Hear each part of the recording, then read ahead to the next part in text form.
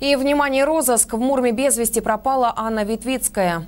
23 июля 17-летняя девушка уехала из дома на велосипеде. До сих пор ее местонахождение неизвестно. Была одета в темно-синие джинсовые шорты и серую футболку. При себе имела черный рюкзак. Из особых примет темно-русые волнистые волосы, карие глаза, рост около 150 сантиметров. Всех, кто что-либо знает о местонахождении Анны Витвицкой, просьба сообщить в Муромскую полицию по телефонам 02 228 78 327 69 или 991 68.